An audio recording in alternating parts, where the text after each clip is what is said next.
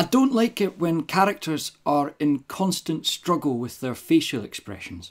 Uh, he couldn't help but smile.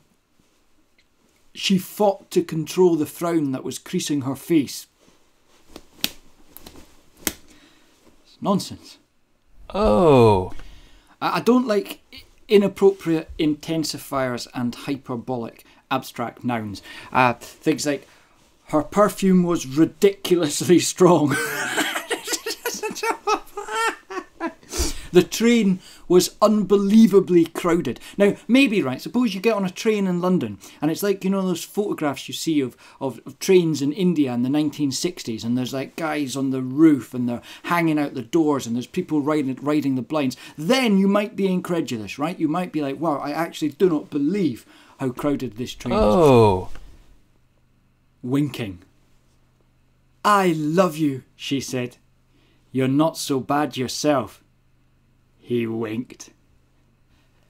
Does anyone under 65 still really wink? I, I don't think so. I think unless your protagonist is a 70 year old former sailor with an outstanding sexual harassment charge, try not to have him wink. Oh. Sighing. It's too much sighing in prose fiction. Everyone's always huffing and blowing, and enough air is produced to shift the Gulf Stream. Oh.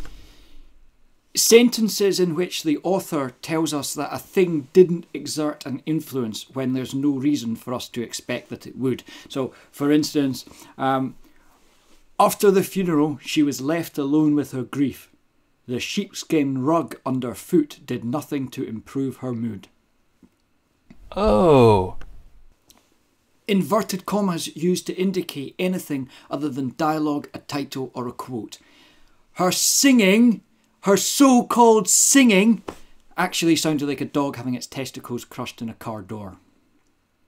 Oh. Smiling. Uh, there's too much smiling in prose fiction. we should know uh, whether your character's smiling from what they're saying and doing. Oh. I don't like weird or cliched descriptions of people crying. He felt tears gathering behind his eyelids and crawling over his cheeks. Um, thing is, people have been crying the same way as long as language has existed. So the chances that you're going to find an interesting new way to describe that experience are pretty slim. Uh, so somebody absolutely has to cry. Just tell us that as simply as possible. Oh. The word whilst, uh, it's, a, it's a pompous word that's preserved in British English for no good reason.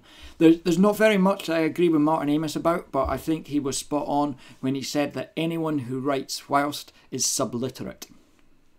Oh. Any first person narrator who sounds like a grumpy blogger who has been through a divorce and watched too much Jeremy Clarkson. Pe- people who are relentlessly negative uh, about trivial things are, are kind of boring.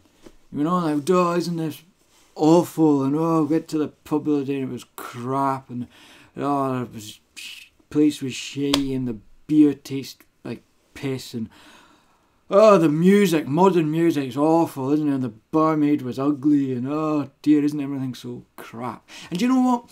That's insincere.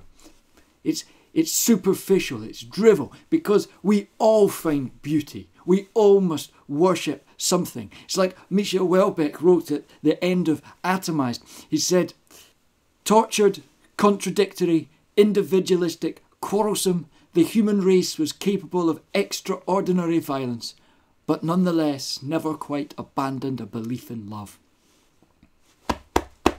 Thanks for watching and good luck with your writing.